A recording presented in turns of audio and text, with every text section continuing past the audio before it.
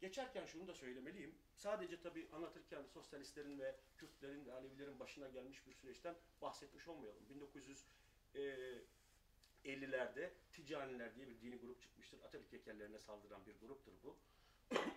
bu grup nedeniyle Atatürk'ü koruma kanunu bile çıkarılmıştır. Çünkü Gökler heykele saldırmaktadırlar.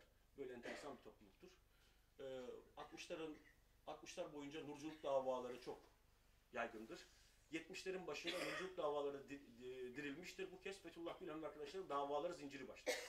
Fethullah Gülen'in yargılandığı 71 tarihli davanın hikayesi de ilginçtir. Ee, onlar da 163. madde e, denilen dini propaganda nedeniyle yargılanırlar. Bir sabah e, Fethullah Gülen'in arkadaşlarının Afyon'daki evi basılır. Ee, şüpheliler namaz kılma halindeyken yakalanırlar. Namaz operasyonu yapılır. Ee, ve evde el konulan delillerden biri şudur. Nurculuk suç değildir başlıklı.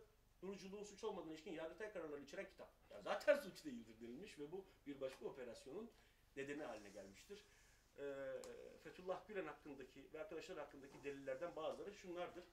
Ee, tesbih, rahle, tek, takke, mes, e, seccade gibi hatta ot yastık benzeri evde ne bulup ne bulmuşlarsa götürmüşlerdir. Risaleler ve Kur'an buna dahildir. Fethullah Gülen bu nedenle de 9 ay e, Ege bölgesini İzmir cezaevine yanılmıyorsam yapmıştır.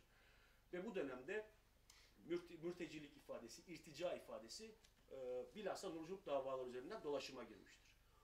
Burayı unutmayın çünkü 2007'den sonra bu örnek sık sık karşımıza çıkacaktır. Türkiye hepinizin bildiği üzere 2000 Kasım 2002'den sonra mağara dönemini kapatmış, aydınlığa çıkmıştır. Bu yönüyle çok önemlidir. Adalet ve Kalkınma Partisi Türkiye'yi e, gerçekten karanlıktan aydınlığa çıkaran bir dönemin önünü açmıştır. Kimle beraber? Gülen Cemaati ile beraber. Bilhassa 2007'den sonra Türkiye'de başka bir seyir başlar. E, iddia o ki e, hakim Türkiye'deki yapı yani e, askerin merkezinde olduğu yapı Adalet ve Kalkınma Partisi'ne karşı e, onu değişik enstrümanlarla iktidardan uzaklaştırmak istemektedir. Ve buna karşı e, bir tür hukuk dışı ittifak kurulur. Adalet ve Kalkınma Partisi yani yurttaşların oylarıyla iktidara gelmiş bir partiyle e, tüzel kişiliği bile olmayan bazen hizmet denilen, bazen hareket denilen, bazen milyonların içerdiği bir organizasyon denilen bir organizasyon arasında bir ittifak kurulmuştur ve bu ittifak kendisini Türkiye'yi demokratikleştirme iddiasıyla e, görevlendirmiştir. Kendine bu görevi atfetmiş ya da vehmetmiştir. Bu iktidar e, ilkin kamudaki tasfiye sürecini Ergenekon ve Balyoz davalarıyla ve bunlara kaynaklık eden gizli tanıklar, esasen yalancı gizli tanıklar, tahrip edilmiş e, dijital belgelerle delillendirdiği davalarla ilkin kamuda tasfiye sürecini başlatmış sonra hem Adalet ve Kalkınma Partisi'nin hem Gülen cemaatinin siyasal otoritesi açısından risk ve tehdit olarak tespit ettiği kim varsa onlara yönelik bir düşman ceza hukuku iklimi başlatılmıştır. Bunun karşılığı şudur. Kürtler açısından KCK davasıdır. Sosyalistler, sosyalistler açısından e, bilhassa HOPA davası ve e, değişik örgüt davalarıdır.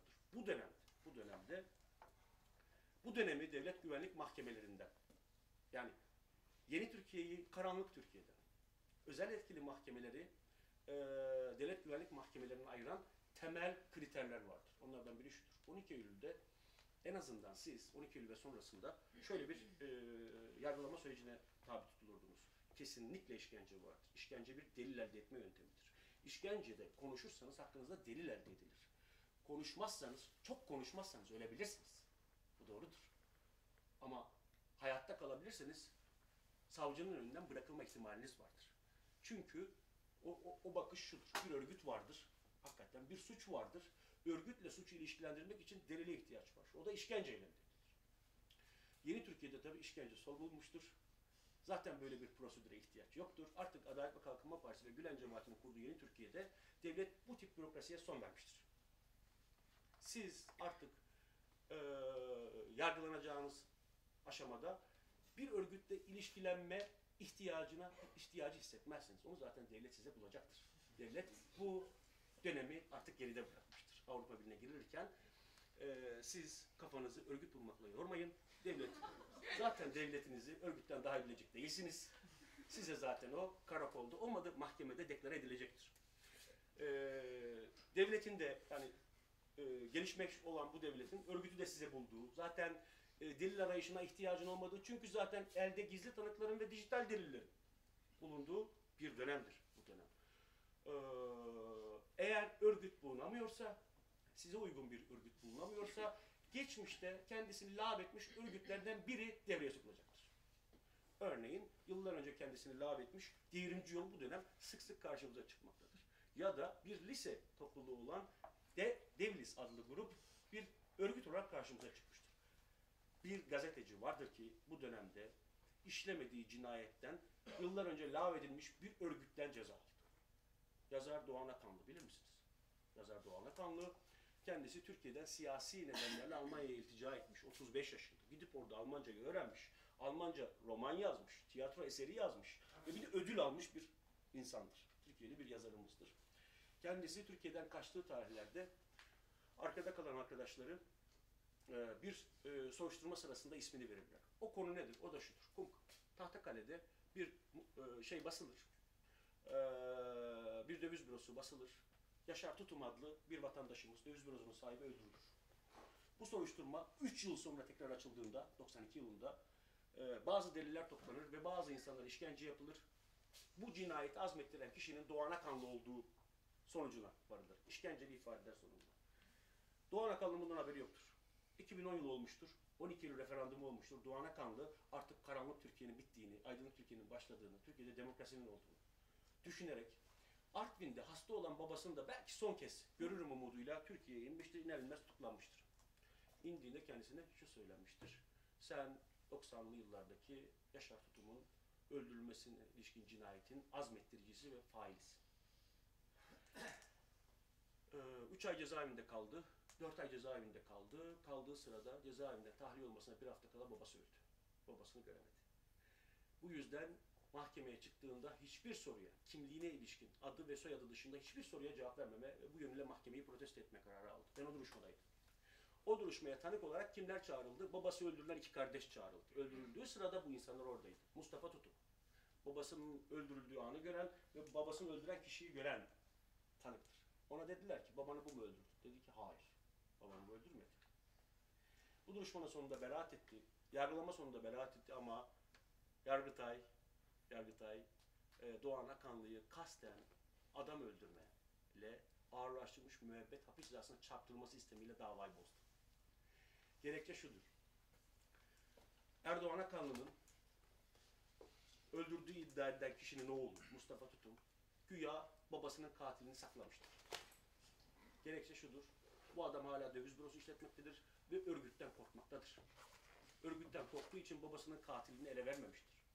Ayrıca Doğan Akanlı aradan yıllar geçtiği, göbeği uzadığı ve sakalları çık beyazladığı için tanınmakta zorluk çekilmiştir. Dolayısıyla suçlu odur. Tanık da kendi babasının katilini gizlemeye çalışmıştır. Denildi kararda. Örgütün adı ne biliyor musunuz? Örgütün adı şu. Türkiye Halk Kurtuluş Ordusu yeniden kuruluş birliği Halk Kurtuluş Güçleri. Bu örgüt en son 90'lı yıllarda görülmüş bir örgüt. Türkiye'de adı dolaşmış bir ara. Böyle bir örgüt yoktur. Ve Yargıtay 20 yıl önce lağv edilmiş bu örgütten bu adamın korktuğunu bir gün gelir benim döviz basarlar. işim bozulur, tezgahım bozulur diye korktuğunu ve bu nedenle eee babasının katilini ele vermediğini söyleyebilmiştir. Doğan Akanlı kırmızı bültenle aranmaktadır bu arada. Halen daha. O dava bitmedi. Daha ilginci şudur. 80'li yılları aratmayacak bir örnek daha olmuştur. Mersin'de. İki çocuk uyuşturucuya hayır yazmışlar. Altına devlis yazmışlardır. Mahkeme onları terör örgütü propagandasına mahkum etti. İki liseli. Cezaevine girdiler. Örgüt, terör örgütünün adı devlismiş. Devrimci liseliler. Liseliler. Lise.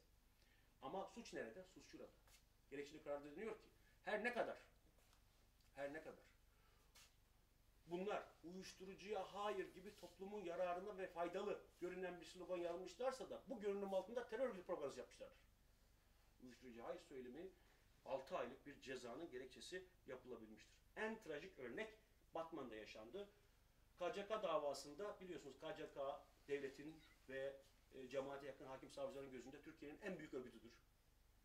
KCK'nın her hali vardır. Doktorlar vardır, hemşireler vardır, futbolcular vardır, öğrenciler vardır. KCK'da yok yoktur. Böyle olunca KCK'nın imam ayağı olmalı denilerek Batman'da bir grup imamı ve mollayı topladılar. İçlerinden biri Batman Belediyesi'nin taşeron gazetılı. Gazetılı cenaze yıkayan adam. 70 küsur yaşında. Hakkındaki delillerden biri şu. Telefonda Kürtçe konuşma. Soruyorlar. Telefonda niye Kürtçe konuşuyorsun? Diyor ki telefonda Kürtçe konuşuyorum ben. Yani hakikaten ne konuşacak yani telefonda? Resmi dilini konuşmak zorunda telefonda. Ama daha fenası cenaze yıkarken bir e, PKK'lının cenazesinin başında, tabutunun başında dua okurken çekilmiş fotoğraf. Çünkü adam kadrolu gazeteli ya ne yapıyor? Okuyacak tabii ki. Görevi bu. Bir diğeri de sivil cuma namazında müezzinlik yaparken çekilmiş fotoğraf. Fezleke'de hakkındaki deliller bazı resimlerdir. Resimler şunlardan ibarettir. Namaz kılma buysunları. Böyle elini bağlarken, secdeye giderken gibi. Bu böylesi ibadet görüntülerine tutuklanmış.